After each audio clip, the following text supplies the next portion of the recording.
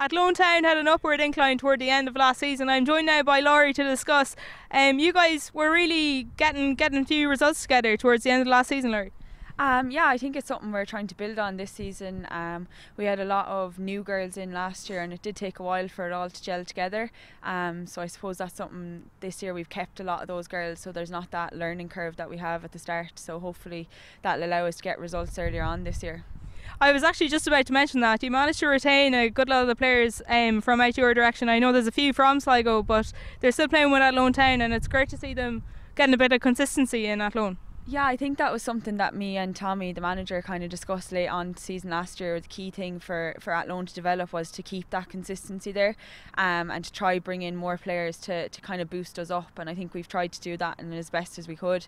Um, so he would have went and spoke with all the girls we had and told them that he wanted to keep them on, which was um, a good way to go about it. And once they were on board, then it meant that everyone kind of wanted to stay on board. So we managed to build the same kind of squad and add to it, which was great. And with that in mind, then, where do the expectations lie with Athlone for this season? What's your What's your goals? Um, I think for us the key thing is to try um, get onto the top half of the table. So whether that be top four or five and get results. Um, I think against the top three we didn't get any results last year, so I think we will be trying to target that. And um, another big thing for us is to try score more goals. I think that's something we really struggled with last year. And towards the end of the season it did start to come a bit better, but I think it's something that we're trying to, to really push on with this year and we're all excited to see it. Um, so best of luck, anyways, for the kick-off of the season. Um, the countdown is on to the 2022 Women's National League.